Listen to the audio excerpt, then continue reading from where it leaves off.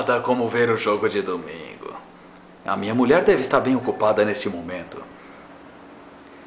Ah, querido, estava tão entediado lá no quarto.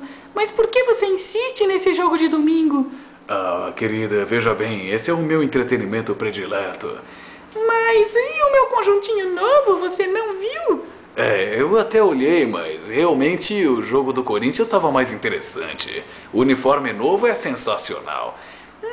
Mas eu comprei um coturno novo, de repente eu poderia pisar em você, fazer um exercício.